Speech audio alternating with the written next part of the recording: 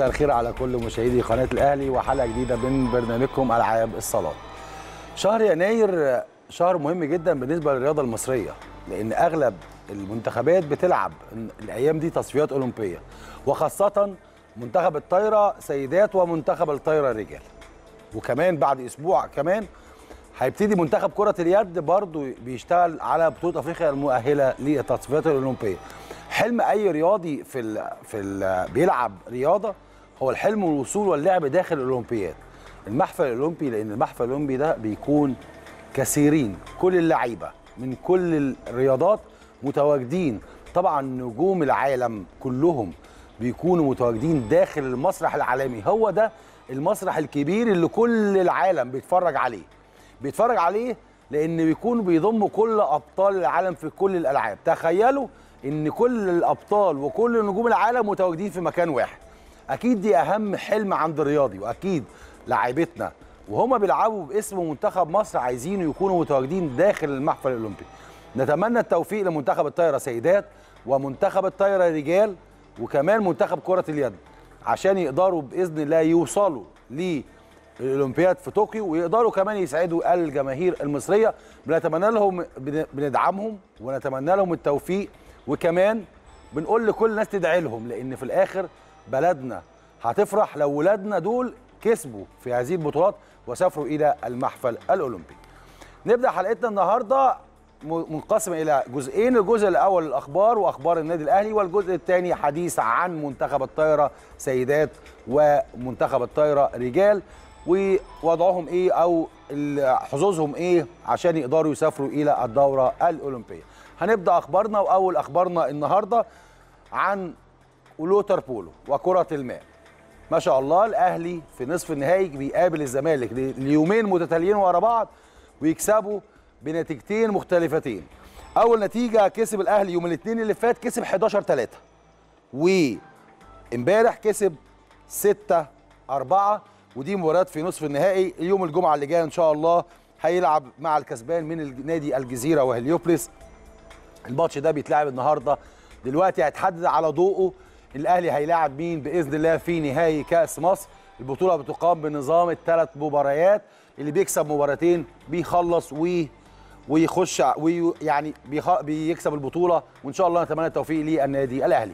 أكيد بعد هذا المكسب أو هذا المكاسب الجميلة لكرة لكرة الماء يكون معانا على التليفون كابتن وائل عزت رئيس جهاز ألعاب الماء بالنادي الأهلي. كابتن وائل مساء الخير. كابتن خالد مساء الخير ومساء الخير على جمهور النادي الأهلي وعلى أعضاء ومشجعين وسنه سعيده عليكم وعلى القناة وعلى النادي الأهلي كله إن شاء الله. سنة سعيدة علينا كلنا وبدايتها حاجة موفقة لفريق كرة الماء وقدروا يكسبوا نادي الزمالك مباراتين ورا بعض بنتيجة 11 3 و6 4 والتألق واضح للفريق الأهلاوي و رجال النادي الأهلي في الووتر بولو. الحمد لله طبعا كانت ماتشات قوية. مع العلم أنت عارف حضرتك إحنا من السنة اللي فاتت إحنا عندنا 10 لعيبة والحمد لله السنة دي تم دفع باللعيبة ناشئين وفي لعيبة كبار وفي لعيبة على اعلى يعني على أعلى مستوى من المسؤولية. أنت عارف النادي الأهلي ما بيقفش على حد. وإن شاء الله بمشيئة الله النهارده زي ما حضرتك قلت هيقرر هنلاعب الجزيرة أو هليوبلس لأن الجزيرة كسب ماتش وهليوبلس كسب ماتش. النهارده الماتش اللي فاصل بينهم وال يعني الحاجة الطريفة إن الماتش الماتش الفاصل بينهم على ملعب النادي الأهلي. فإن شاء الله بمشيئة الله النهارده بالليل بعد الساعة 9:30 هنبقى عارفين هنلعب مين يوم الجمعة إن شاء الله بمشيئة الله. بإذن الله كل إن شاء الله بمشيئة الله نوعد الناس إن إحنا نعمل نتيجة كويسة ونكسب الكاس إن شاء الله بمشيئة يا رب يا كابتن وائل بإذن الله نتمنى لكم التوفيق. لكن عايز أسألك سؤال بصراحة. إيه الفرق بين الماتش الأولاني والماتش الثاني الماتش الأولاني الفارق واضح جدا 11 3 والمباراة الثانية مع نادي الزمالك 6 4 الفارق قريب جدا. هو الصراحة الماتش الأولاني كان فيه تركيز عالي جدا. والناس كانت عايزة تخلص من أول ماتش. الماتش الثاني عارف حضرتك بيبقى هو بيبقى حاسين إن هم خلاص الماتش الثاني ماشي كويس كان في يعني مش عايز أقول مش عدم تركيز بس الطمانينه بالمكسب الزيادة. بتخلي الموضوع ما يبقاش المكسب بيروح زي ما إحنا عايزين. بس إحنا إن شاء الله بمشيئة الله شفنا النقطة دي وعلى الماتش الجاي يوم الجمعة إن شاء الله هيعملوا هو أنت عارف الماتش النهائي ماتش واحد بس. هيخشوا دخلة جامدة وإن شاء الله ربنا ينصرنا إن شاء الله ونعمل نتيجة كويسة ونفرح جمهور وأعضاء ومشجعين النادي الأهلي إن شاء الله. كابتن وائل من وجهة نظرك المباراة اللي جاية أنت كابتن وائل عزت عايز تقابل الجزيرة ولا هليوبلس بصراحة شديدة بصراحة شديدة آه. أنا عايز أقابل آه، هليوبلس. هليوبلس آه هو هو الأقوى ولا هو الأقل لا هو بص هم الاثنين على آه. الاثنين بالظبط زي بعض آه. إحنا يعني انت عارف الجزيرة بيننا وبينهم يعني يعني آه. كده آه، آه، في حاجة كده. بس أنا أتمنى الاثنين بالنسبة لي واحد بس أنا أتمنى هليوبلس بصراحة. طيب طمني بقى على الفريق وهل في إصابات غيابات عن المباراة اللي جاية ولا ولا الحمد لله مكتملين الصفوف آه، هو الحمد لله يعني آه، آه، الإصابات آه، كان في إصابة يعني كان في الماتش اللي فات في ثلاثة اثنين واحد مصاب دراعه واثنين عندهم برد شديد. ويمكن ده برضه من الحاجات اللي أثرت في الماتش الثاني بتاع الزمالك. إن شاء الله كله مشيئه الله داخلين معسكر إن شاء الله بكرة. مشيئه الله آه، ال 16 لعيب الجهاز الفني والإداري. وإن شاء الله بمشيئه الله يبقوا مركزين رايحين يوم الجمعة وجاهزين للماتش إن شاء الله. بإذن الله يا كابتن وائل إن شاء الله أمنياتنا الطيبة ليكوا بإذن الله بمكسب. وبإذن الله كده نبارك لك بعد المباراة. وكل يعني كده الرجالة تشد حيلها وبطولة مهمة للنادي بإذن الله على إيد رجالة كرة المية. وإحنا بنشكرك على متابعتك لسه كنت عامل حلقة جميلة في الغطس وبشكر الناس بتوع الغطس من أول كابتن طارق الصغير بطارق نبيل جمعة بالمدربين الجهاز الفني والإداري واللاعبين وأولياء الأمور. وكان عندنا الباليه عمل الحمد لله 8 و10 سنين كسبناهم في بطولة القاهرة. قبل السنة الجديده. الحمد لله ربنا موفق إن شاء الله ومشيئه الله نوعد الناس كلها إن إحنا نعمل نتيجة كويسة زي ما الحمد لله ربنا بيكرمنا على طول فيها إن شاء الله. يعني أنا بس أنا كنت هطول معاك بس الموضوع أنا عارف أنت عايز حلقات كثيرة جدا عشان نتكلم على جهاز ألعاب الماء ما شاء الله إنجازات كتيرة. بس أنت على حو... على ذكرك الغطس والبليل المائي السباحة ما شاء الله عليها محققة دوري ومحققه بطولات ومحققه إنجازات كثيرة جدا في العصر ده. يعني بنبارك لك عليها وبنبارك لكل الجهاز اللي معاك وكل ال- المدربين والفنيين المعاونين لكابتن وائل عزت. والله أنا بشكر الناس كلها ومش عايز أنسى حد. الناس. كلها تعبانة يا كابتن خالد وربنا يقدرنا ونبقى عند حسن ظن الجمهور ومشجعين وأعضاء النادي الأهلي. وبنشكر مجلس الإدارة وبشكر كابتن رؤوف عبد القادر. يعني الناس كلها لا يعني لا تتوانى عن أي جهد إحنا بنطلبه منها أو أي طلب هم بنطلبه منهم. الناس كلها زي ما بيقولوا كده إيديهم في ظهرنا. بشكرهم جدا جدا جدا. وبشكرك أنت بقى على المستوى الشخصي لأن أنت من الناس المقربين جدا إلى قلبي يعني. ربنا يكرمك يا كابتن وائل. ميرسي جدا وربنا يكرمكم. وإن شاء الله بإذن الله مزيدا من إنجازات وبطولات في دولاب النادي الأهلي بإذن الله. شكرا يا كابتن وائل عزت. شكرا.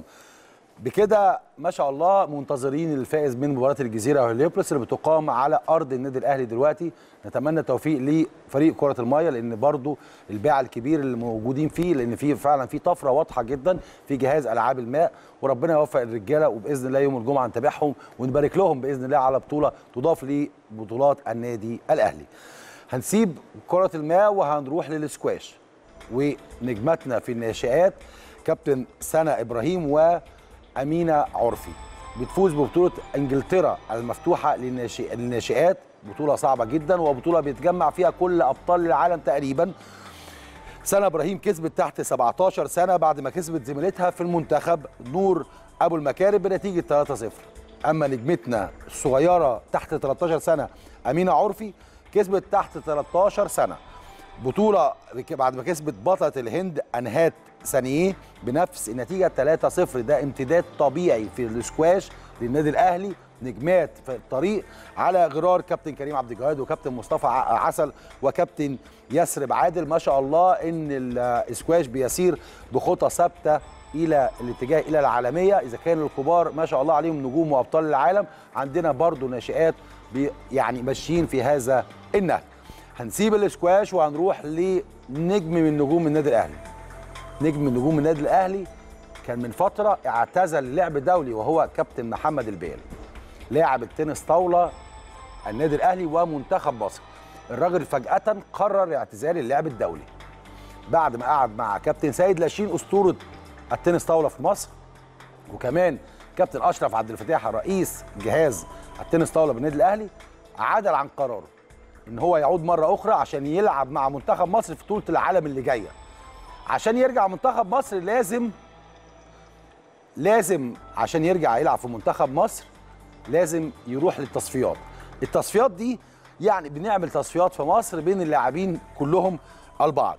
حقق فيها المركز الأول كسب كل ماتشاته. ما سابش ماتش البالي ما شاء الله عليه هو فعلا نجم كبير من نجوم مصر. بكده قدر البيلي إن هو هيشارك خلاص مع منتخب مصر في بطولة العالم اللي جاية اللي هتقام في كوريا الجنوبية بإذن الله في شهر مارس. البيلي شارك مع منتخب مصر لمدة 15 سنة. 15 سنة بيحقق ميداليات وبطولات قارية ودولية يعني بيحقق إنجازات كثيرة جدا. محمد البيلي من اللاعبين المهمين جدا في تاريخ النادي أو في الوقت الحالي كمان المعاصر من نجم كبير جدا. وما شاء الله عليه إنجازات كثيرة جدا. البيلي بين خروجه للاعتزال وبين قراره وعدوله قعد مع كابتن أشرف عبد الفتاح رئيس الجهاز وأكيد كلام كابتن أشرف عبد الفتاح معاه كان مؤثر جدا. وكمان أسطورة التنس طاولة كابتن سيد لاشين أكيد كان مؤثر لأن كابتن سيد لاشين كلنا عارفين إن هو يعني مش هنقول الأب الروحي عشان ما نكبروش قوي لكن هو الأخ الأكبر بالنسبة للاعبي التنس طاولة في مصر والعالم. وفعلا قدر يعني قدروا يقنعوه إن هو يرجع مرة تانية. كان البيلي يعني شوية زعلان في وقت من الأوقات عن إن هو يعتزل لكن عادل عن قراره وإن شاء الله يمثل مصر إن النداء الوطن لينا كلنا. أول ما مصر تطلب كله لازم يروح على طول. فبنشكر كابتن محمد البيلي عدوله عن قرار العو أو العودة مرة أخرى إلى اللعب في اللعب الدولي وكمان إن شاء الله ربنا يوفقه في المرحلة اللي جاية وهو بطولة العالم ومنتخب مصر في بطولة العالم بكوريا الجنوبية. نكمل مع تنس طاولة ونجمتنا هنا جودة. هنا جودة يعني لاعبتنا المتميزة اللي ما شاء الله عليها ناشئة طالعة بشروط يعني صاعدة بقوة الصاروخ. ما شاء الله. بالرغم من امتحاناتها عندها امتحانات طبيعية جدا زي كل الناس اللي عندها امتحانات لكن هنا جودة بتقرر إن هي تشارك تروح تصفيات منتخب السيدات. منتخب السيدات برضو عنده تصفيات علشان تطلع وتلعب في منتخب مصر. الاتحاد التنس طاولة بيعمل تصفيات. التصفيات اتعملت 5 يناير ل 7 يناير. جوه امتحانات هنا جودة.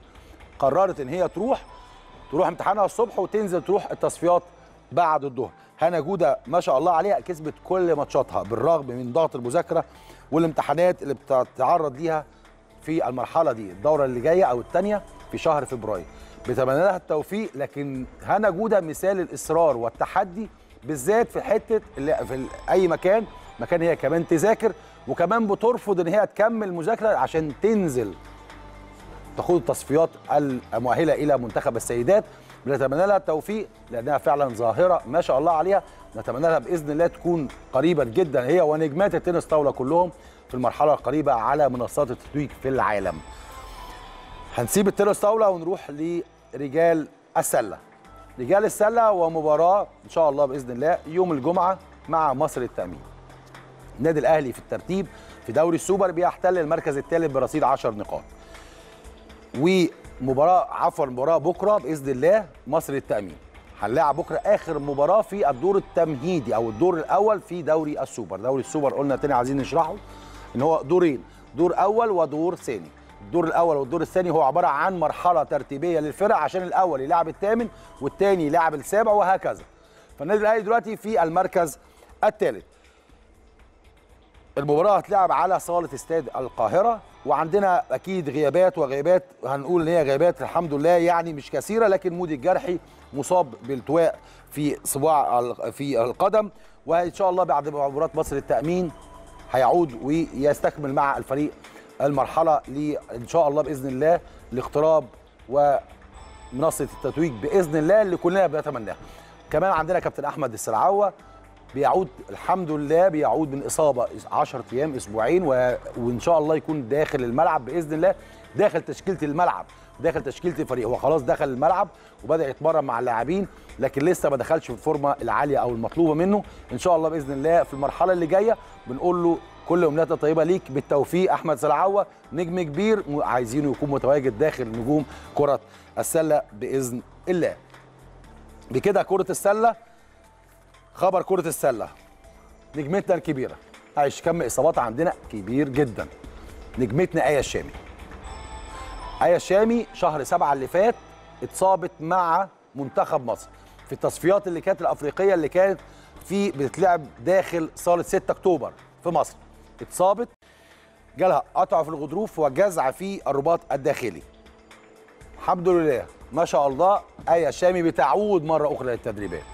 نجمتنا الكبيرة اللي كل جمهور النادي الأهلي بيعشقوا حاجة اسمها آية الشامي. لأن فعلا ما شاء الله عليها آية الشامي من النجوم المؤثرين جدا داخل قلوب الأهلاوية. آية كانت اتعرضت قلت القطع في الغضروف وجزع في ال- وجزع في الرباط الداخلي.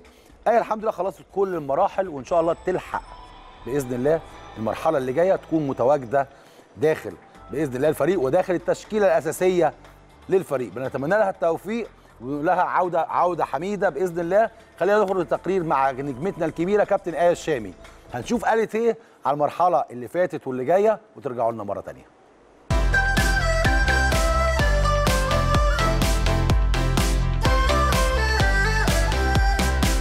الحمد لله أنا لسه ابتديت دلوقتي أنزل أشارك مع الفرقة واحدة واحدة يعني.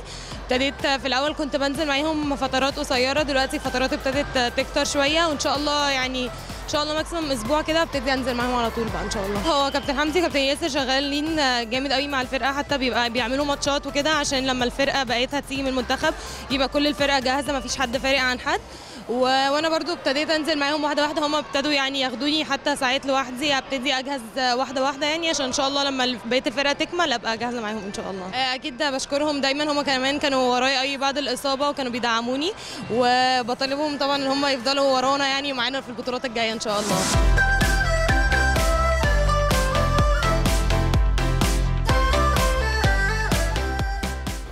نورت يا كابتن آية شرفت النادي. الحمد لله اللي انت متواجدة داخل أرض النادي بتتمرني. حاجة بتسعدنا جدا وبت- وبتسعد قلوب الأهلاوية اللي انت بتكوني متواجدة داخل الفريق لأن فعلا نجمة كبيرة وقلت نجمة مؤثرة في قلوب كافة جماهير الأهلي تقريبا. معروفة بالاسم في كل جمهور الأهلي اللي بيشجع النادي الأهلي.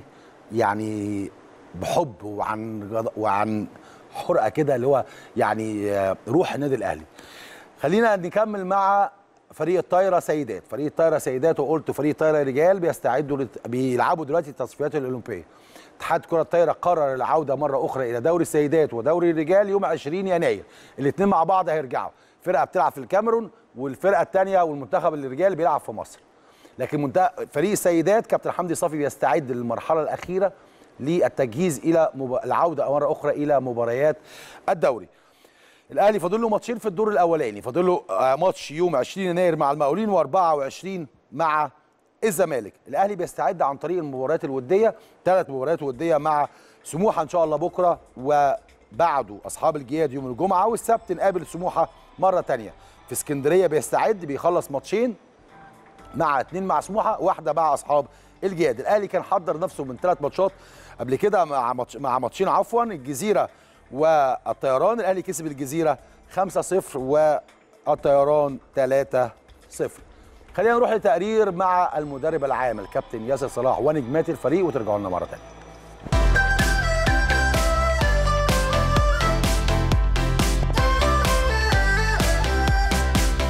إحنا إن شاء الله الفترة الجاية عندنا إن شاء الله بعد أسبوعين تقريبا آه، نبدأ إن شاء الله في الدور الثاني بتاع بتاع الدوري المصري. ناقص ماتشين في الدور الأولاني نلعبهم مع المقاولين ومع الزمالك. بعد كده إن شاء الله نخش بقى على الدور الثاني بأمر الله. طبعا إحنا الفترة اللي فاتت طبعا كانت فترة توقف بالنسبة لل لل للدوري هنا في في القاهرة يعني عندنا. آه، لأن المنتخب كان متجمع وكان عنده معسكر لتأهيل آه، للأولمبياد. إحنا طبعا عملنا معس... مش معسكر عملنا زي تمرين مكثف ليهم والحمد لله بنحاول نعوض. الفترة اللي هي اللي هي فترة توقف الطلية الكبيرة ديت، طبعا الحالة النفسية والحالة البدنية طبعا من. من العناصر المهمة طبعا في أي رياضة، طبعا إحنا بنشتغل معاهم طبعا نفسيا وبدنيا وكل حاجة وخططيا وفولي وكل. كل الشغل دوت. آه طبعا الفترة طبعا طويلة شهر ونص شهرين توقف طبعا كثفنا في البدني جدا مع كابتن رانيا آه طبعا مدربة ممتازة جدا آه شغالة معاهم شغل كويس قوي وإحنا طبعا بنعمل معاهم عملية تحميل جامد قوي في المهارات بالنسبة لموضوع الإصابات الإصابات عندنا إيه شامي كانت عاملة عملية آه ولسه راجعة ما فيش من فترة قريبة جدا حتى لسه ما نطيتش بادئة شوية فتنس كده خفيف برده برده مع كابتن رانيا وإن شاء الله خير بأمر الله. وفي ميار لسه برده خارجة برده من العملية لسه بادئة برده تخش معانا فولي. وفي آه، منتخب اتنين رجعوا من المنتخب آه، ساره أمين ودانا شوقي. طبعا اتنين مميزين جدا واتنين على كفاءة عالية جدا. والفرقة الأهلي محتاجاهم جدا وإحنا الحمد لله شغالين معاهم كويس قوي وإن شاء الله خير بامر الفترة الجاية. إحنا دلوقتي آه، بنستعد كويس قوي لل... إن إحنا نكمل الدوري. هو توقف شوية عشان فترة المنتخب وكده. آه، ابتدينا كويس قوي فترة إعداد ورجعنا تاني إن إحنا نعد تاني عشان وقفنا فترة. آه، رجعنا نتمرن كويس والناس اللي في المنتخب هيجولنا كمان إن شاء الله أسبوع. يعني الحمد لله بنتمرن دلوقتي آه، بنعمل ماتشات ودية بنلعب كويس قوي. آه، وكابتن حمدي وكابتن ياسر طبعا ما بي يعني ما بيغبوش عننا خالص في التمارين بيمرنوا كويس قوي. التمرين ماشي بالظبط يعني بنفس القوة وبنفس الإعداد الكويس. فإن شاء الله كويس عندنا ماتشات مهمة الفترة اللي جاية هتبتدي يوم 20 واحد. آه هنكمل يعني هنبتدي من يوم 20 إن شاء الله آه أكيد الموضوع البدني مهم إن إحنا نكمل بيه طول. يعني البدني ده هو اللي بيخلينا واقفين على رجلنا طول ال season بنخش gym track حتى في الملعب بيبقى فيه حاجات عليها تحمل أكتر عشان إن إحنا نقدر نكمل والماتشات الصعبة بنحاول إن إحنا نتغلب على الفرق اللي قدامنا بالطريقة دي. فالحمد لله لأ هم يعني عاملين system كويس قوي ماشيين عليه كويس قوي فالحمد لله ربنا يوفقنا إن شاء الله. إحنا فعلا الفترة دي بالنسبة لنا يعني في ناس كتيرة معانا في المنتخب. وبقية الناس هنا آه، الكابتن بيبقى محدد لنا في الفترة دي إن إحنا برضو نعمل ماتشات ودية كتير ونحافظ على بحيث إن إحنا نبقى كلنا في الآخر بنفس المستوى. وده اللي إحنا فعلا شغالين عليه. آه، تمريننا شغال زي ما هو عادي ست أيام في الأسبوع وبنريح بس هو يوم واحد. مع الماتشات طبعا الودي بنحاول نعمل ماتش أو ماتشين في الأسبوع. ده بيساعدنا ان إحنا الاحتكاك بيبقى افضل حاجة استعدادا للمباراة ان شاء الله لأن إحنا فاضل لنا مباراتين في الدور الأول وبعد كده نرجع نكمل الدور الثاني ان شاء الله. كابتن حمدي وكابتن ياسر بيبقى هدفهم طبعا زي ما قلت لحضرتك إن ال team كله يكون في نفس ال form يعني. ففي الفترة دي بيكون طبعا شغال مع كابتن رانيا على مخطط الأحمال بتاعتنا آه، على شغل ال fitness اللي هو يوصلنا إن إحنا نبقى إن شاء الله إن شاء الله على قدر كويس من ال fitness يخلينا نكمل الدوري كله بنفس المستوى. لأن إحنا طبعا عندنا ماتشات كتيرة لسه جدا فلازم إن إحنا يبقى لياقتنا تؤهلنا إن إحنا نعمل ده. وده الحمد لله إحنا شغالين عليه الفترة دي. plus طبعا إن كابتن حمدي بيكون ليه تعليمات آه، قبل كل ماتش أو أي حاجة. بيخليك إن أنت حتى لو الفترة دي ما عندكش فيها ماتشات بس بيخليك تفضل في الجو بتاع mood الماتشات يعني مثلا بماتشات ودية أو حاجة أو معسكر أو أي حاجة بحيث إن أنت لما تدخل إن شاء الله على ماتشات الدوري ما يبقاش لسه كانك من الطالع من ال off season وبتبدأ تاني من الدوري من الأول يعني.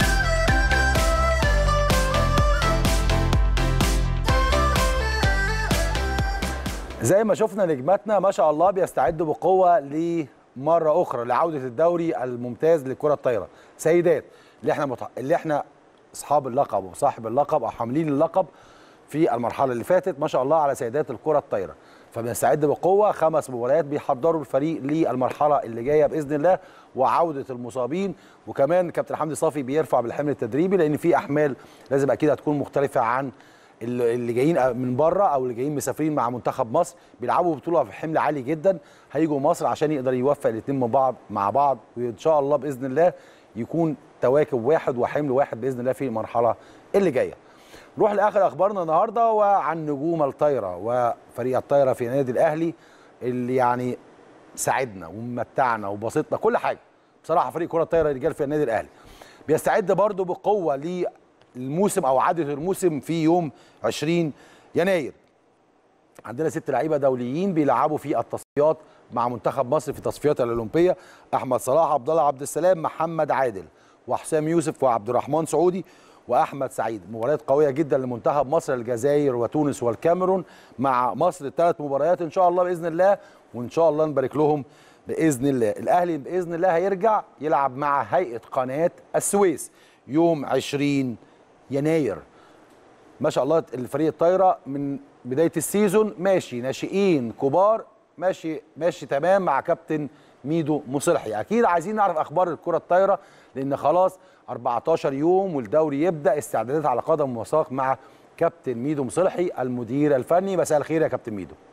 مساء الفل يا كابتن خالد ازي حضرتك عامل إيه؟ طب نتكلم على الطايرة الأول ولا نتكلم معاك في حاجة شخصية الأول؟ اللي أنت عايزه. اللي أنت عايزه. طب كل سنة وأنت طيب يا كابتن ميدو. كابتن ميدو بي- مش عايز أقول عامل كام لكن امبارح كل سنة وأنت طيب كابتن ميدو مصلحي مدير الفني النادي الأهلي. يعني كان عيد ميلاده امبارح فبنقول له كل سنة وأنت طيب على الهوا. كابتن ميدو مصلحي من نجم من نجوم النادي الأهلي في تاريخ الكرة الطايرة. وما شاء الله هو المدير الفني لفريق الكرة الطايرة. فبقول لك كل سنة وأنت طيب يا كابتن ميدو. عيد سعيد عليك إن شاء الله. وأنت طيب بخير يا كابتن خالد. ليه يعني؟ قول يا عم. 48 سنة عندي. تمام. خلاص. يبقى تم عامه 48 سنة. عشان ما حدش يبص ولا يتكلم مع كابتن ميدو. 48 سنة دايما. تلتين. عمره أو كل عمره إنجازات وبطولات مع النادي الأهلي. كابتن ميدو في الوقت ده وإحنا بنتكلم معاك مع كابتن ميدو مصلحي وتاريخ كبير داخل النادي الأهلي. بقول لك كل سنة وأنت طيب تقول إيه لجماهير النادي الأهلي في يوم عيد ميلادك. والله إحنا من غيركم ولا حاجة. جمهور النادي طبعا رقم واحد في في مصر كلها وهم داعم أساسي للنادي بصفة عامة وللفولي كمان بصفة خاصة يعني. احتفلت إزاي امبارح؟ والله مراتي والولاد عملوا لي صورة حلوة كده والحمد لله على كده. أخيرا قعدت في البيت أخيرا قعدت في البيت يعني وأكلت تورتة وقعدت معاهم. كل سنة وأنت طيب يا كابتن ميدو. قبل ما الواحد يتزنق بقى الثلاث أشهر الجايين دول صعبين جدا على ال- على الفرقة في النادي الأهلي لأن هم ليهم بطولات يعني. آه. فإن شاء الله هنبتدي آه، على يوم الأربعاء الجاي إن شاء الله مع الفرقة. آه. كملت الدوليين يكونوا جم. وان شاء الله نبدأ الإعداد لل- للبطولات اللي عندنا. مم. كابتن ميدو لاستعدادك للمرحلة اللي جاية أنا عارف إن السنة دي بصراحة سنة عليك صعبة جدا. يعني شوية اللعيبة الدولية تسافر بره بطولة العالم. ترجع. تعمل مرحلة جديدة. شوية يروحوا اللعيبه لتصفيات أولمبية ترجع وهكذا. الموضوع صعب جدا واللي أنت توازن بين الاثنين صعب جدا. والله يا كابتن خالد عايزين حاوي عندك حق. بصراحة عندك حق. آه بس الحمد لله إحنا ال- الواحد يعني بيراهن على اللعيبة ديت إن هي عندها الخبرة الكافية في التعامل مع الماتشات دي. وإن شاء الله أنا أقدر أساعدهم وإن إحنا نتوج- إن شاء الله بأربع بطولات السنة دي بإذن الله. يا رب راهنت على الناشئين من أول ال season أو الشباب من أول ال season هتراهن عليهم في المرحلة اللي جاية كمان بإذن الله ولا هنعتمد على اللاعبين الكبار واللاعبين الخبرات؟ بصراحة. والله م- م- مزيج يعني. إن شاء الله إحنا طبعا برضو الشباب عندهم بطولة 21 سنة و19 سنة. مم. أنا هضم ثلاث لعيبة اللي هو يوسف الصافي يوسف مرجان وعبد الرحمن الحسيني دول هيتمرنوا معايا بصفة أساسية ودايما إن شاء الله لغاية طول الموسم يعني. قول لي المرحلة اللي جاية أربع بطولات في ثلاث في أقل من ثلاث شهور. كابتن ميدو مصلحي بيحضر إيه في المرحلة اللي جاية ليه؟ بإذن الله في المرحلة اللي جاية.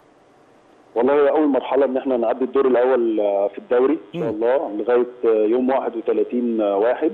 آه، عندنا أربع ماتشات مهمين جدا قناة وسبورتنج وجيش وزمالك. نعديهم إن شاء الله بعد كده عندنا استعداد البطوله العربية. إن شاء الله المجلس وافق على معسكر إعداد في السعودية مع نادي الوحدة. والبطولة العربية وبعد كده إن شاء الله بقية الدوري هنلعب كل يوم جمعة ماتش. وبعد كده نخش على البطولة الأفريقية. آه، والدوري ونهاية الدوري والكاس في شهر أربعة. آه، يعني هو جدول مليان شوية.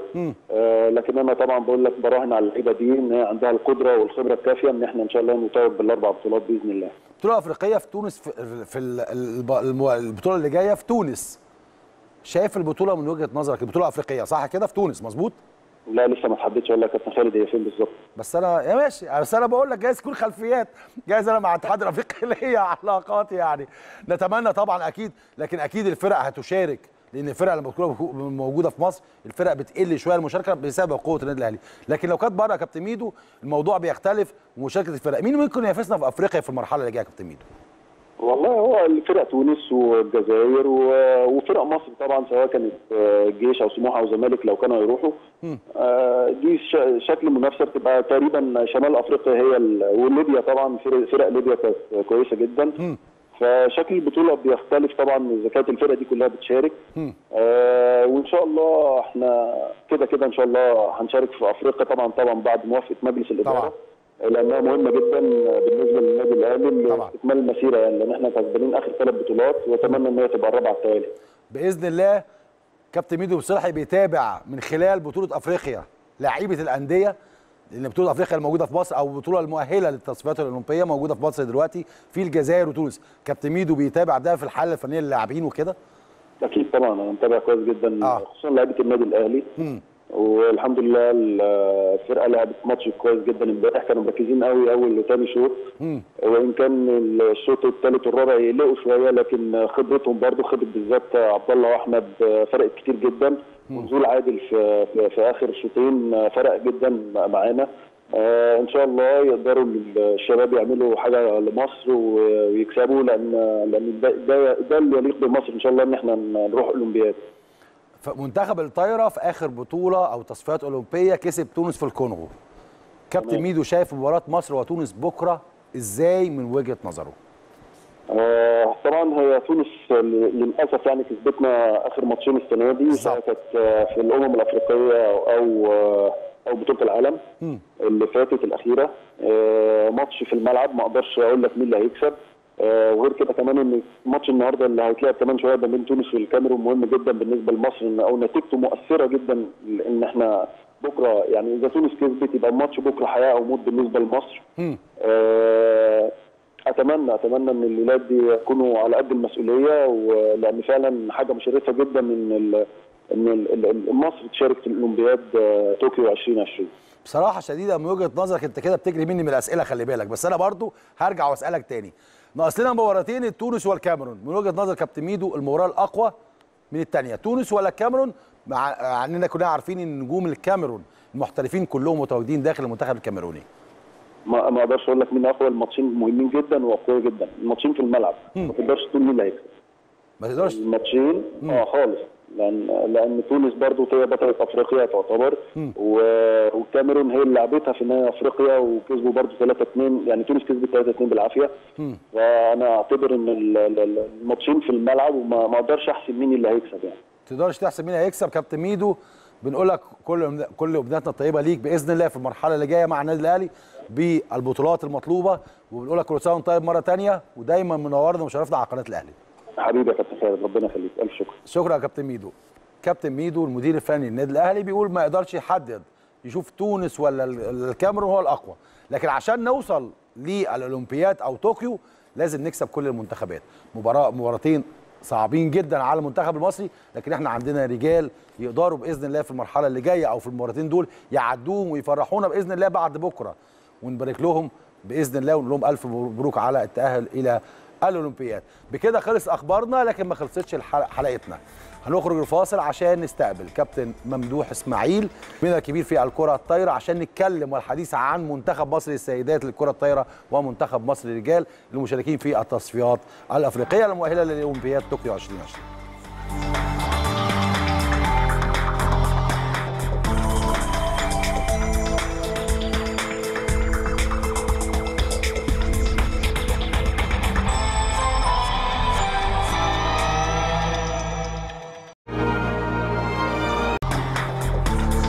أهلا بيكم بعد الفاصل. خلينا نرحب بضيفنا الكبير ونجم النادي الأهلي ومنتخب مصر للكرة الطايرة كابتن ممدوح إسماعيل. كابتن ممدوح مساء الخير منورنا ومشرفنا. مساء الخير يا كابتن خالد يشرفني طبعا وجودي مع حضرتك النهارده.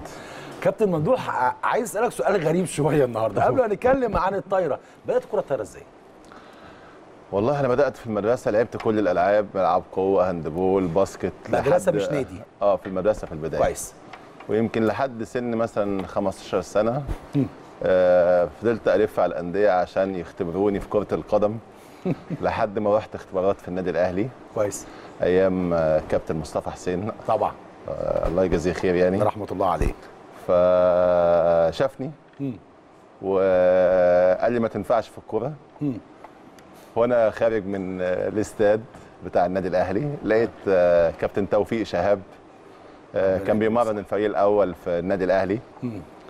فدخلت قلت له يا كابتن أنا عايز ألعب مش عايز أخرج بره النادي الأهلي لأن من ساعة؟ ما دخلت آه ها.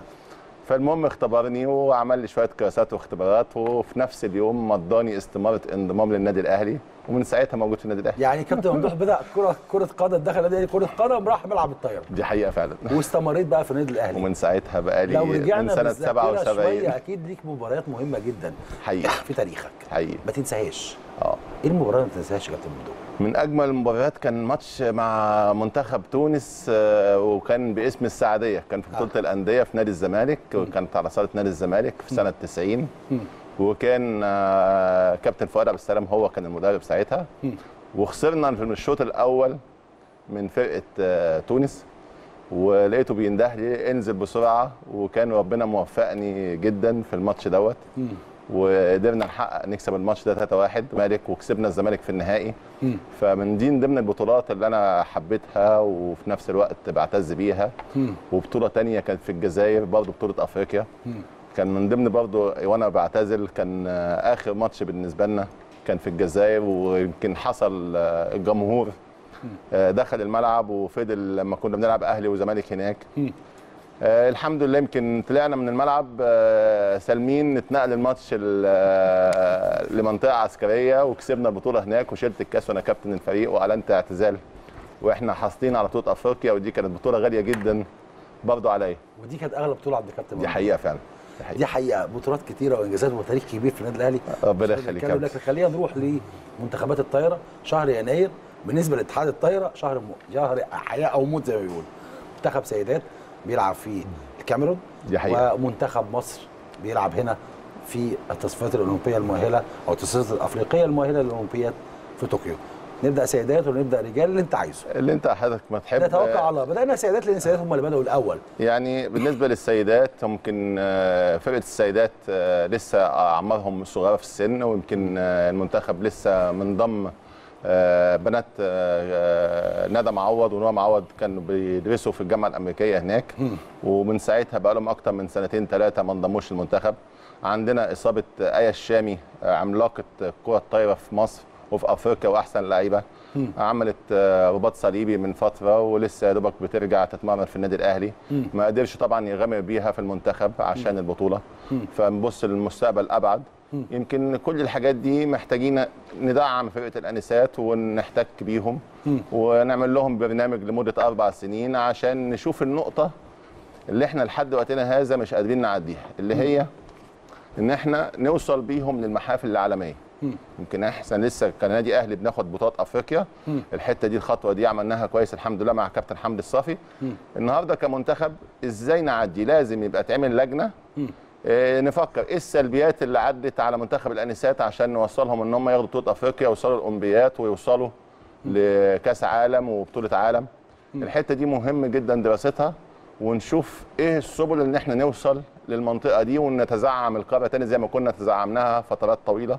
وكنا بنروح لحد سنة 86 دي آخر بطولة عالم آه، رحناها ومن ساعتها ما رحناش كده 86 ما من رحناش. 86 ما رحناش بطولة عالم إنما عشان برضو ما بنقدرش نكسب كينيا ويمكن آه، البطولة اللي فاتت كسبناها في آه، قبل آه، تصفيات أولمبياد ريو دي جانيرو اللي كانت في البرازيل وخسرنا من الكاميرون الكاميرون هي اللي راحت.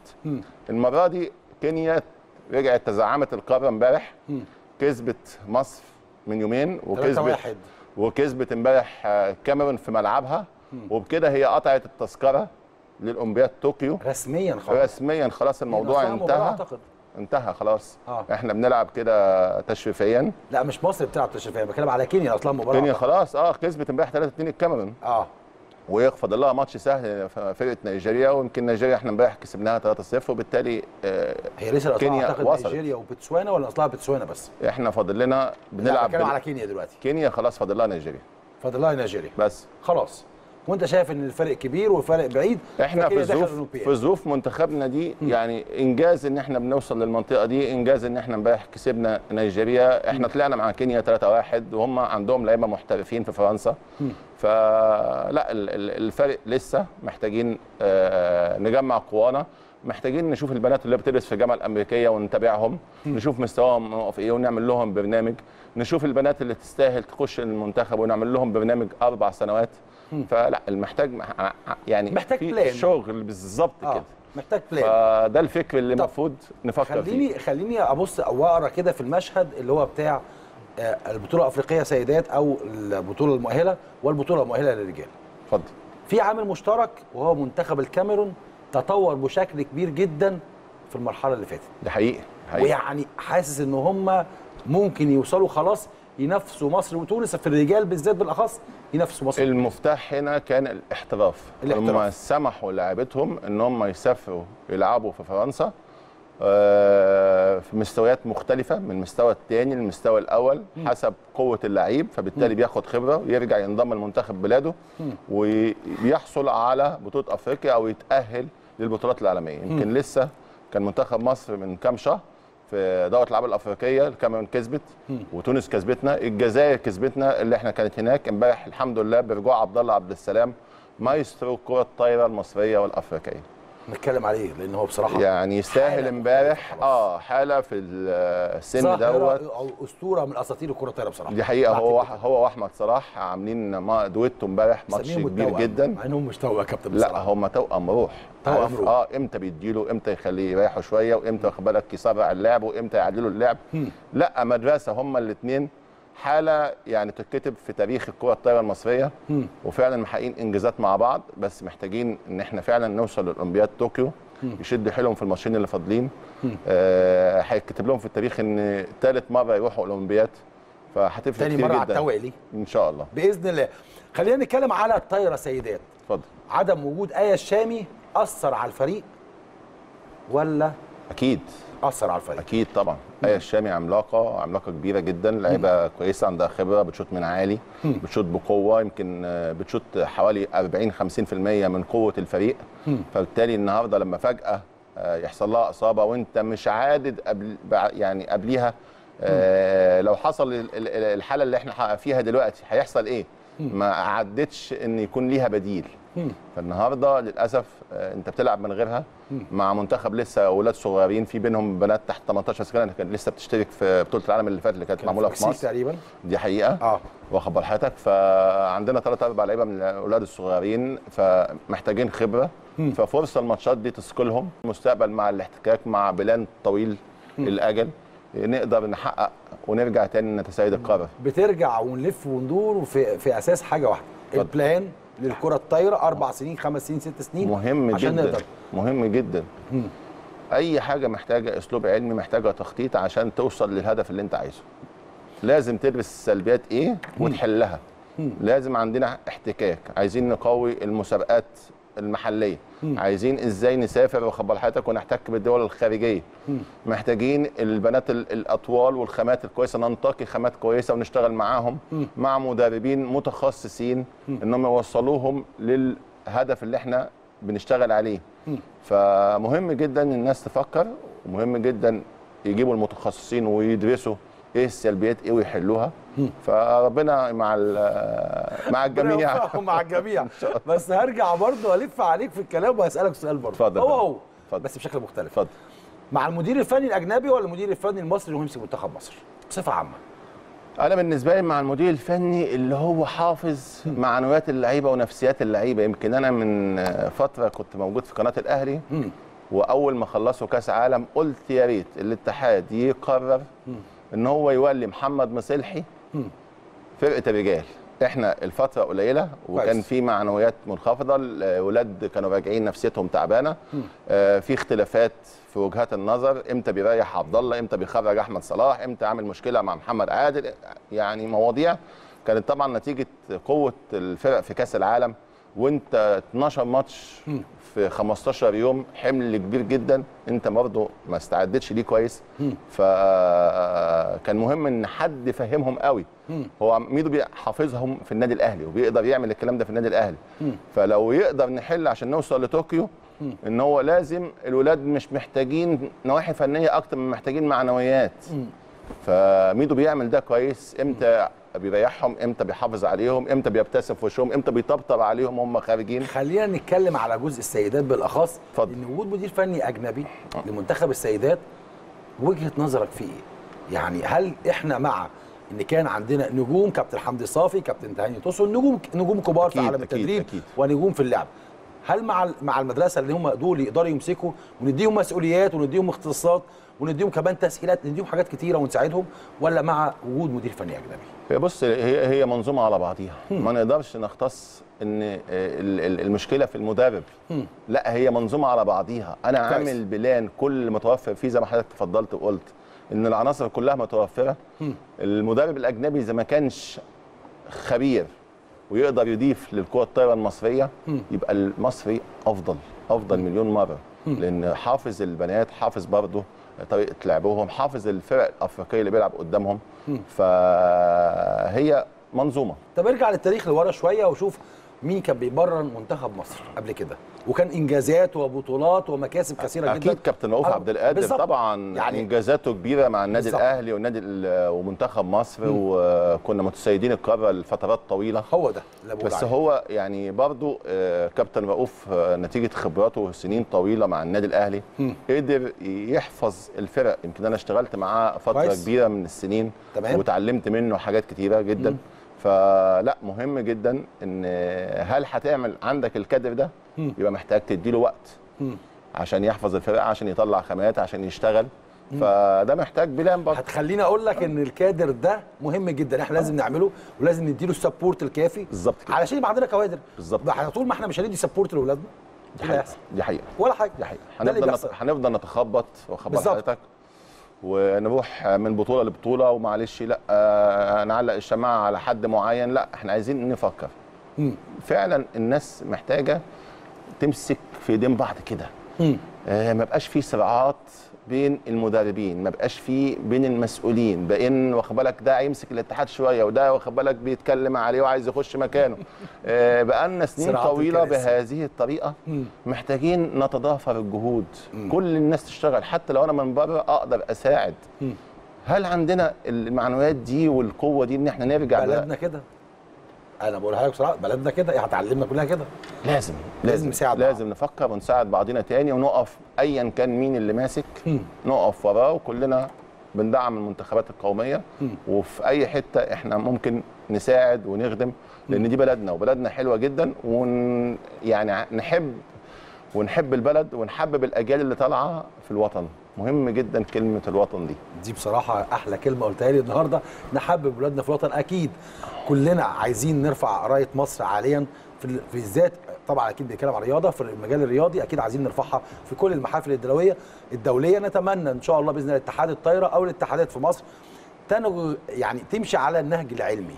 إن يبقى عندها plan ثلاث أربع سنين بس في الآخر نحقق واولادنا يبقوا كوادر تبقى الدنيا عندنا شكل مختلف. كابتن ممدوح عشان يقفل باب السيدات أو المنتخب السيدات خلاص فرصهم خلص خلص الموضوع. عايزين ندي خارطه الطريق في المرحلة اللي جاية لمنتخب السيدات أو الاتحاد الطايرة بنقول له إحنا رأينا واحد اثنين ثلاثة أربعة عشان نمشي على نهج الطريق صحيح. زي ما حضرتك تفضلت وقلت الاسلوب العلمي plan لمدة أربع سنين على الأقل ما كانش ثمان سنين واخد بال حضرتك من دورة اولمبياد لدورة اولمبياد عندنا أجندة دولية عندنا أجندة أفريقية عندنا أجندة محلية.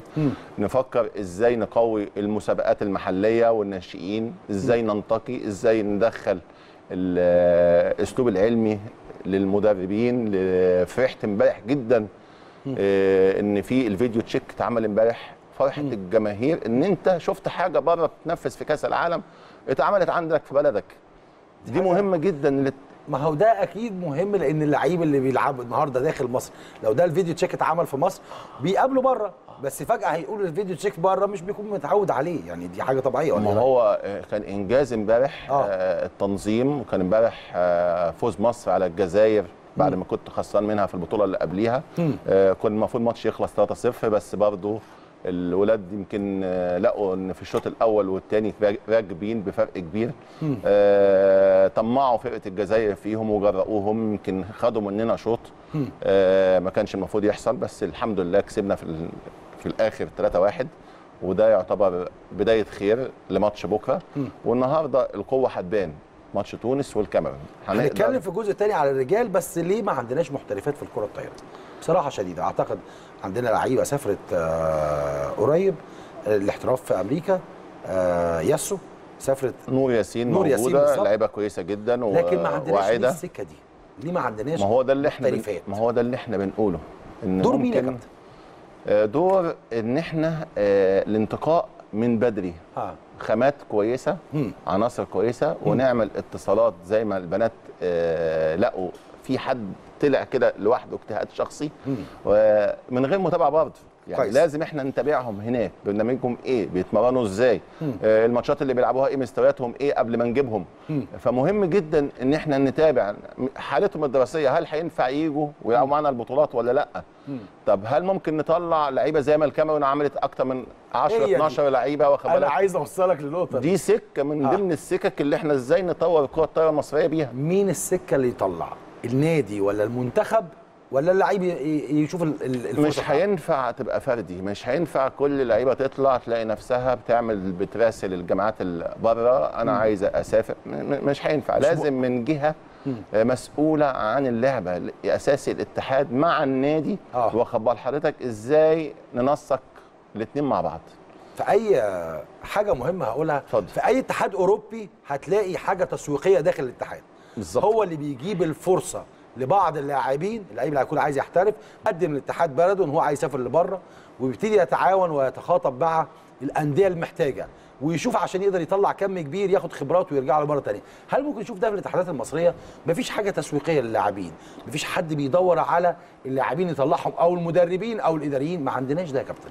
دي حقيقة ليه؟ للأسف يعني للأسف. المفروض يديهم خبرات بدل ما ندفع فلوس دو- دولار ويورو في مصر يعني للأسف. نصفر إحنا أحسن ولا رأيك؟ للأسف مش موجودة يمكن آه، ممكن الاتحاد في الفترة اللي جاية كابتن أحمد عبد الدايم أو آه، اللي هينجح واخد بالك الفترة الانتخابات اللي جاية أو اللي هيستمر ممكن يفكر بهذا الأسلوب إن هو يخلي ال- ال- الناس الكبار بتوع اللعبة يبدأوا يفكروا ويدرسوا إيه السبل اللي ممكن نرجع نتسيد القارة تاني؟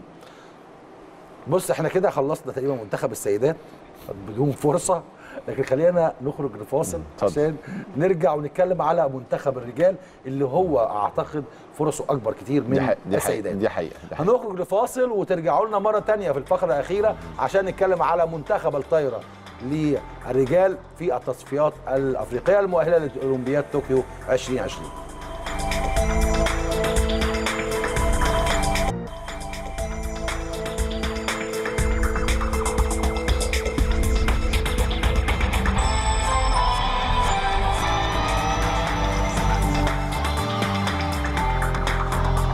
بيكم في آخر فقرة النهارده. معانا كابتن ممدوح إسماعيل نجم النادي الأهلي ومنتخب مصر لكره الطايرة والحديث عن بطوله البطولات المؤهلة للأولمبياد القادمة بإذن الله في طوكيو 2020 والحديث عن منتخب مصر للرجال في آخر فقرة. كابتن ممدوح بنجدد الترحاب بيك ودلوقتي دخلنا على منتخب مصر للطايرة الرجال اللي هو الأقرب إن شاء من الله وجهة نظري من وجهة نظري الضئيلة إن هو. يقدر يحقق حاجة. إن شاء الله.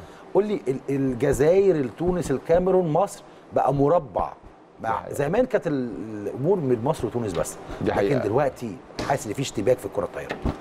هو بعد طبعا ما فرقة الكاميرون بدأت بعتت لاعبتها لفرنسا وبدأوا يحترفوا ده رجع على المنتخب عندهم بالقوة. وبدأوا ينافسوا بقوة منتخب تونس والجزائر ومصر. يمكن من ضمن المفارقات الغريبة امبارح مين بيمرن فرقة الجزائر؟ برناوي اللي هو كان أيام أحسن playmaker من ال- ده لعيب عظيم. لعيب كويس جدا. وكان ليه مدرسة إن هو بيحمل الكورة شوية وبيقدر يلعب بال block يطلع block وينزل block. بيطلع الضريب ويسرع الكورة بطريقة جميلة جدا أيام ماجد مصطفى وحمد الصافي ومحمد مصلحي. يمكن ده هنا المنافسة يمكن ياما قابلناه كتير في بطولات الأندية ومع المنتخبات. يمكن البطولة اللي كان خدها في مصر كانت في دورة الألعاب الأفريقية اللي هي كانت موجودة في الاستاد كان لسه الاستاد مجمع استاد معمول جديد ويمكن كان الصالة مليانة وفرقة الجزائر آه بدأوا يشغلوا الحكم وبداوا يعترضوا عليه فقدر يأثر بخبرتهم الكبيرة جدا على الماتش دي والبطولة دي. فمن ساعتها فرقة الجزائر بدأت تنافس. النهارده برناو بيرجع مع المنتخب الجزائري هو المدرب. هو المدرب. هو المدرب النهارده. بس. جبتني بص يعني على حاجة أنا لسه بتكلم فيها معاك. اتفضل. برناوي ده نجم من النجوم قلت لي كان في عصر ماجد مصطفى. آه دي حقيقة. وكابتن حمدي الصافي حقيقة. ونجومنا الكبار. دي حقيقة. ده ماسك منتخب بلده وإحنا جايبين مدير فني أجنبي. تزعل؟ اتضايق عادي مفيش مشكلة. يعني اللي هم عايزينه بس قول لي بصراحة. أنا زعلان بصراحة. أكيد أكيد. رأيك. إحنا مصريين عندنا كوادر آه،. ما شاء الله كويسين جدا. بالذات كمان لو إحنا وفرنا لهم العناصر النجاح هنقدر ننجح بيهم. وما شاء الله حققوا إنجازات كبيرة وهم لعيبة. وحققوا محمد مسلحي مع النادي الأهلي بقى له سنين سنوات طويلة بيحقق إنجازات وحمد الصافي بيحقق إنجازات. وعندنا مدربين تانيين كويسين وكوادر بس هو قصة إن إحنا نخطط ونشغل الأسلوب العلمي. لا إحنا إحنا إحنا عايزين لما لما نرمي الكورة من ملعبنا إحنا جبنا مدير فني أجنبي وهو ما كسبش. يعني دي صراحة. سياسه دي دي دي. سياسة دي سياسة واخد بال حضرتك ما أقدرش أتكلم فيها. ممكن زي ما قلت لك حضرتك ممكن نجيب الخبير الأجنبي آه. في حالة ما يكون خبير هيضيف للعبة. لأي لعبة. لأي لعبة كده كانت. بصفة عامة خلي بالك. آه دي حقيقة. وإحنا للكورة للطايرة للهاندبول للباسكت. نقدر بال حضرتك هل هيعلم أجيال؟ هل هيعمل كوادر؟ هل هنستفيد منه؟ خلاص نجيب. اتمنى أتمنى بجد إن كل الكوادر تكون مصرية. لأن كل الدول اللي في العالم بيشتغلوا على كوادر عندهم. لعيب بيبطل النهارده بيمسك منتخب بلده وبيمسك ناديه كفريق أول. نتمنى للمنتخبات المصرية يكون كل الكوادر مصرية. في في الجيل الكبير أو الجيل الذهبي للانديه لل- للمنتخبات نتمنى وجودهم في تدريب المنتخبات لأن حقهم الطبيعي إن هو كان نجم كبير وإدى النادي وإدى لمصر يكون متواجد في داخل التدريب في المنتخبات المصرية لأن ده حق من حقوقه هو عايز يوصل للمرحلة دي إن شاء الله بإذن الله في المرحلة اللي جاية يكون كل الكوادر المصرية وده مش كلامي ده كلام رئيس الجمهورية اللي قال إن المدير الفني يكون وطني. دايما ودي حاجة مهمة جدا عشان يقدر يحس بالبلد ويقدر يحس ويتفاعل مع اللاعبين. هنرجع لمنتخب الطايرة وكابتن عبد الله عبد السلام وأسطورة من الأساطير هو كابتن أحمد صلاح والتفاهم والتوائم بينهم داخل أرض الملعب. حقيقة عبد الله امبارح عمل ماتش كبير ويمكن كان بيقدر يوزع اللعب لجميع اللاعبين من ولاد صغيرين في مركز ثلاثة. لما نزل محمد عادل برضه اداله كور صعبة جدا ونهى الشوط الرابع بصورة يعني جميلة جدا. في كور جاية من بره التلت حطها تحت إيد محمد عادل حطها بنقط مباشرة أنهى بيها الشوط اللي هو يعني الرابع. آه صح؟ آه آه دي حقيقة. آه آه، مع أحمد صلاح في كور برضه صعبة جدا بيديها له. إمتى بيسرع له؟ إمتى بيعلي الكورة؟ آه بصراحة يعني آه عبد الله نضج. جداً. نضج وخبرة عالية جدا. بتقدر آه وانت قاعد بتبقى مطمن إن عبد الله في الملعب. مستمتع بلعبة الكرة الطايرة مع عبد الله عبد السلام دي حقيقة دي حقيقة. بتحس إن هو مش عارف هيدي لمين ولا يطلع مين هو شغل الفرقة امبارح يعني إمتى الاولاد يمكن ضياء برضو آه، تحت 23 سنة لعب كأس العالم مع منتخب مصر تحت 23 سنة. آه، ضياء لسه جديد على منتخب مصر. آه، شغله إمتى؟ وقفه إمتى؟ بيدي لأحمد سعيد من ستة إمتى؟ لا عبد الله مايسترو فعلا نتمنى إن هو يتكرر الماتش ده بكرة ويوم السبت إن شاء الله مع الكاميرون ونبارك لهم على وصولهم لطوكيو. يا رب. آه نتمنى دلوقتي خلاص مدرب أجنبي مدرب مصري إحنا دلوقتي لا، إحنا خلاص إحنا. إحنا إحنا إحنا في أرض الملعب. صح. آه مفيش وقت. كلنا سبورت للناس كلها بالمدير الفني الاجنبي دي حقيقة. إحنا كلنا أكيد. نجتهد. هم ماتشين معنويات عالية آه رجولة في الملعب. الجماهير بكرة إن شاء الله ورا هو ده اللاعب رقم واحد. الأساسي. الأساسي إن ورا اللعيبة دي. مم. عشان تو ما بيحسوا إن الجماهير في الملعب بتلاقيهم حاجة تانية خالص. مم. آه نستأذن بس من آه الأمن إن هو يدخل الجماهير. يا رب. آه مهم جدا. طبعاً. دي مصر وكلنا وراهم. آه عشان نبارك في الآخر ونلعب في طوكيو. ودي تبقى إنجاز كبير إن مصر بتروح لتاني مرة. الاولمبياد على التوالي. بإذن الله نتمنى لهم التوفيق. لكن تونس الكاميرون ما المنتخب الأقوى من وجهة نظر كابتن ممدوح إسماعيل؟ آه بص ال- آه، أنطونيو جوكوب المدرب الأجنبي للتونسي المنتخب التونسي كان ماسك منتخب مصر والاتحاد. ده أنا كنت لسه هسأل السؤال الاتحاد اتفضل. الاتحاد التونسي بقاله سنوات طويلة في استقرار عندهم. بيبعت اللعيبة بره برضه تحترف زي حمزة نقه آه، محترف آه، في الدوري الإماراتي. ويمكن هناك آه، عاملين مسابقات قوية جدا. كل نادي هناك بيجيب اثنين محترفين وفي بطولات عربية بيجيب خمسة ستة محترفين. يمكن مهتمين في الإمارات وبيسافروا بره معسكرات كتيرة جدا. بيجيبوا أقوى اللاعبين المحترفين. فبالتالي مستواه عالي جدا خلال ال- ال- الفترة اللي فاتت. هو آه، كفه تونس آه، لعيب عنده خبرة مع المعد. آه، برضه زي عندنا زي عبد الله وزي أحمد صلاح. انهين الأقوى ماتش في الملعب. ما تقدرش تقول إن مصر هتكسب بسهولة أو الكاميرون هتكسب بسهولة. مهم جدا النهارده الكاميرون وتونس هيلعبوا في التوقيت الحالي الساعة 8 حاليا مهم ندرسهم ونسجل لهم ونحلل لهم كل خطوة وكل لحظة وكل بونت بيعملوا إيه في ال position دوت. آه ونحفظهم. عندنا النهارده كان أجازة لأن غانا انسحبت آه، وما جاتش. بالظبط. ففرصة إن هم ريحونا. آه ريحونا. فده هيدي chance للمنتخب المصري إن هم لاعبين مع بعض النهارده وممكن يا رب يطلع الماتش خمسة game عشان يبقى فرقة تونس تعبانة. حمل عالي. آه يبقى الحمل عالي. ان ناخدهم بكرة. بس مش هو ده المفتاح. المفتاح في إيد اللعيبة المصرية. بس لو الكاميرون النهارده كسبت تونس في احتمالات يا تونس تكسب يا الكاميرون تكسب. بص لو هو الكاميرون كسبت الماتش هيبقى أصعب كتير. رأيك؟ الماتشات في الملعب آه. ما تقدرش تقول آه تونس هتكسب ولا كاميرون هيكسب. آه الكاميرون فيها لعيبة محترفين في الدوري الفرنسي. آه كسبانة آخر بطولتين واخد بال حضرتك. فلا آه هنا آه حسب التوفيق وحسب الكاتشنة. النتيجة دلوقتي على أرض الملعب 9 8 لمنتخب الكاميرون في الشوط الأولاني. على أرض الملعب هيمشي قايلين حالا. equal هيمشي equal في الآخ- لآخر الماتش. point point. point point لأن فرقتين مستوى متقارب جدا. الثلاث فرق مستواهم متقارب. مش هتقدر آه، تقول مين هيكسب. آه، خلال الماتش وهو ماشي بعد الماتش نقول مين كسب. جوه أرض الملعب اللعيبة هي اللي بتلعب لكن خارج الخطوط انطوني جاكوب ماسك المنتخب المصري قبل كده. دي حقيقة. هتفرق الكلام ده بكرة في مباراة مصر وتونس؟ هو ديربي. ديربي. بين اللعيبة ومن بعضيها بين المدرب والمدرب آه، خبرة أنطونيو جاكوب منه كان ماسك منتخب مصر وبقاله سنوات. طويلة. كمان ماسك منتخب تونس برضه حافظ الفرقتين. آه. هنا توفيق اللاعبين. هل اللعيبة واخد بالك هتيجي في وقت هي اللي خبرتهم اللي هتحسم المباراة؟ أعتقد خبرة أحمد صلاح مع عبد الله هيقدروا يرجحوا كفه المنتخب المصري.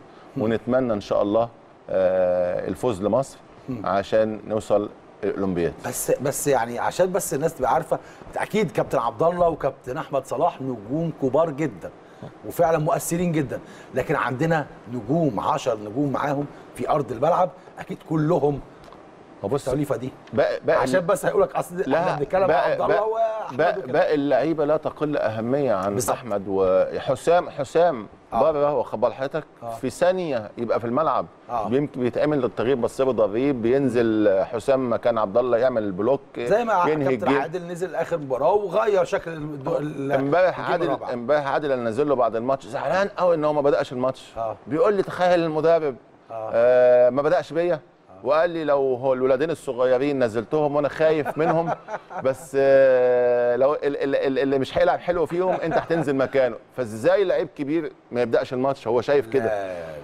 نزل كل الملعب نزل خلى شكله حلو جدا. طبعا. آه نهى الماتش وشط عبد الله شغله وخد آه. امبارح بلوكات في الشوط الرابع كتير. فنتمنى الكلام ده يلعب أكيد بنفس الحمية. آه طبعا أكيد في بداية المباراة بنحط الشباب عشان لو ما ما مشيتش الأمور. هي وجهات نظر على كل لاعب إن هو يلتزم بتعليمات المدير الفني. المدير الفني عايزه نقطة النقطة اللي ينزلها دي يكون هو الفيصل. لو هيلعب serve لو هيعمل defense عندنا لعيبة بره مميزين جدا في ال serve مميزين جدا في ال defense في الاستقبال. يقدر يستفيد منهم في أوقات الحرجة. فهو آخر فعلاً. مباريات بين مصر وتونس فوز المنتخب التونسي. تؤثر بكرة في النتيجة ولا لا تؤثر لا لا لا لا؟ لا أصل ما إحنا لعبتنا نفسية. لاعبتنا عندها خبرة كبيرة. أنت بتلعب على ملعبك وسط جماهيرك تلفزيونك آه، إعلامك. مهم جدا إن اللعيبة دي واخد بالك عارفة يعني إيه آه، بتلعب على ملعبك. آه، إن شاء الله نبارك ليهم بكرة ويكون مفتاح لماتش الكاميرون يوم السبت ونبارك لهم يوم السبت على الوصول.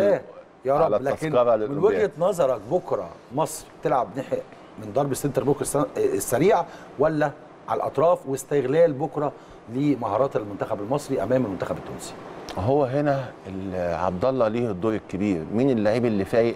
ها. كل ما لعبت سريع أكتر ما أنت بتسهل على اللاعب اللي بيضرب عالي واخد بالك؟ إن هو ما بقاش معاه double block أو ثلاثة block لو أنت ما شغلتش السريع فأنت بالتالي كل مره هيروحوا لأحمد صلاح. فهنا الع- الموقف هيبقى صعب. فهنا دور آه، محمد عادل الكبير محسن آه، عبد الرحمن سعودي, سعودي. آه، شبل. الأربعة بتوع ثلاثات هم السنتر وهم المفتاح بتوع الملعب. وكان نفسي عبد الحليم عبو بعد ما عمل العملية والإصابة يكون متواجد. آه كان يكون متواجد لأن هو عنصر مهم جدا للمنتخب. بس الظاهر آه رؤية المدرب إن هو ما هو شافه إن هو لسه ما جهزش. فقال لك ألعب باللي جاهز البطولة دي. فدي كلها وجهات نظر للمدربين. هم آه اللي هيتحملوا النتيجة. بس إحنا اللي في الأول وفي الآخر كأسرة الكرة الطايرة. هنفرح لما يوصلوا كلنا. الأولمبياد. كلنا هنفرح بإذن. الله معاهم.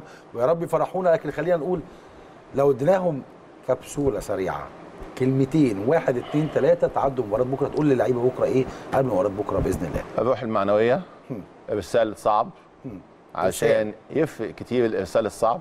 امبارح عبد الله كان مميز جدا جاب 8 إيس. ما شاء الله عليه فدي يعني رقم عالمي جديد لعبد الله إن هو في ماتش واحد النسبة العالمية ما بتعداش 3 4 إرسالات.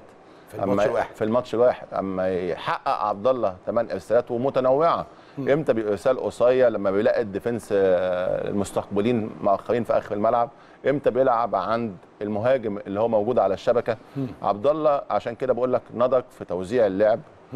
نضج في إرساله جدا ما بقاش آه، في وقت من الأوقات بي كان بيروح بيلعبه بقوة مش مهم يضيع. لا دلوقتي عنده خبرة إمتى بيلعبه إمتى بيعديه إمتى بيبقى إرسال تكتيكي عشان يوقف المهاجم. فإن شاء الله هيفرق كتير آه، مع منتخب مصر. هيفرق كتير إرسال أحمد صلاح. يا رب. بقية اللعيبة ما بتلعب إرسالات اللي هي المفروض النهارده. بعد دراسة نقط الضعف فين المنتخب التونسي والمنتخب الكاميرون هنقدر نلعب عليها. آه استفادة من اللاعبين الموجودين بره إزاي زي ما قلنا هيلعب مين هيلعب؟ سيرف آه مين هيستفيد منه؟ مين بتاع ثلاثة ما يكون موجود على الارسال ممكن ينزل واحد مكانه يلعب serve يعمل defense. آه المدرب الأجنبي يمكن في كأس العالم اللي فات آه استفاد من أخطائه في ماتش امبارح. كويس. يمكن كان قبل كده اللعيبة بتخرج زعلانة إن هو مثلا خرجه في توقيت معين.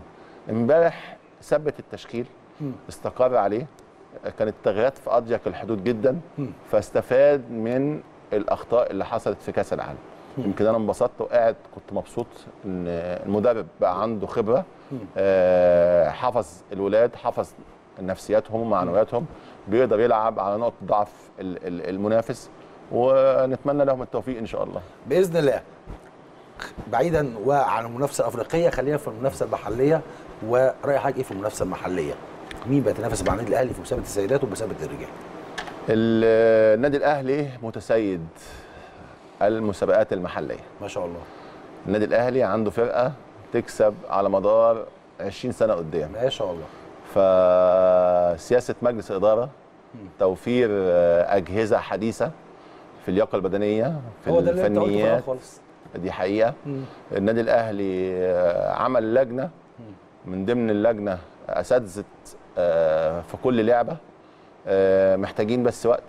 محتاجين بنعالج السلبيات إيه؟ بنتابع كل المباريات للفريق الأول للمجال الناشئين في الولاد وفي البنات.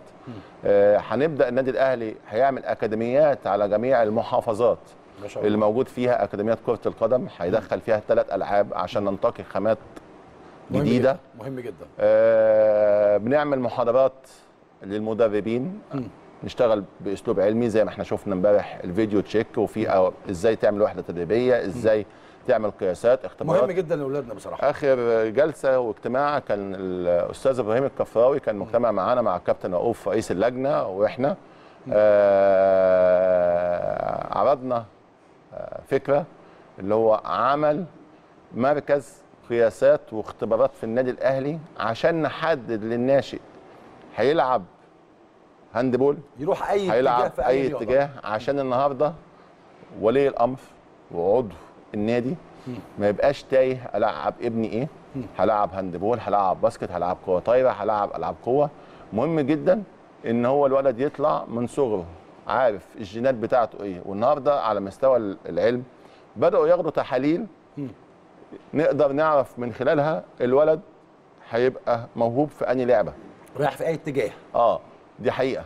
آه في نفس الوقت آه قياسات واختبارات للاعبين اللي موجودين بحيث إن هم يشتغلوا بأسلوب علمي يبقى في معادلات وقياسات واخبر حضرتك آه بيشتغلوا عليها.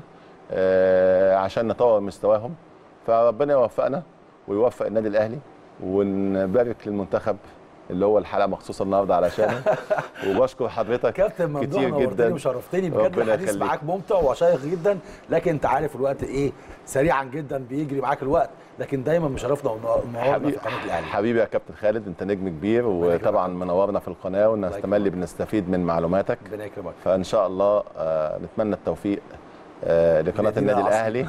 ونشكر ال- المخرجين والسادة العاملين في القناة. ميرسي يا كابتن جدا. فألف شكر يا كابتن. شكرا جزيلا. وفي نهاية الحلقة بشكركم اللي كنتم متابعينا النهارده. واستنونا يوم الاثنين اللي جاي من الساعة 7 ل 8 وثلث في ألعاب الصالات وأخبار النادي الأهلي في ألعاب الصالات.